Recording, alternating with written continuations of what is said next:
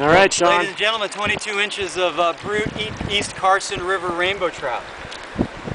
What'd you get him on, Sean? I got him on a green beadhead pulsating caddis. Excellent.